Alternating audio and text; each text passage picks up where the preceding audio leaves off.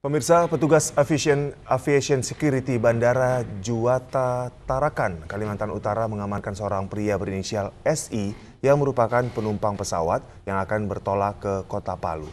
Diduga membawa narkotika jenis sabu sebanyak 8 bungkus yang disembunyikan di dalam ban untuk mengelabui petugas.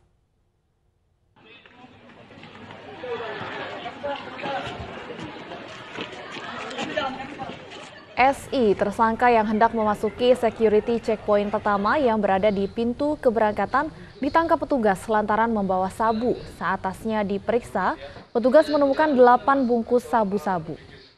Tersangka pun berusaha melarikan diri menuju area parkir bandara, namun berhasil dibekuk petugas. Di dalam tas tersangka, petugas menemukan barang bukti sabu seberat 400 gram yang dilapisi karet ban. Tersangka bersama barang bukti lainnya kemudian diamankan dan diserahkan petugas aviation security Bandara Juwata Tarakan kepada aparat kepolisian untuk pengembangan kasus tersebut.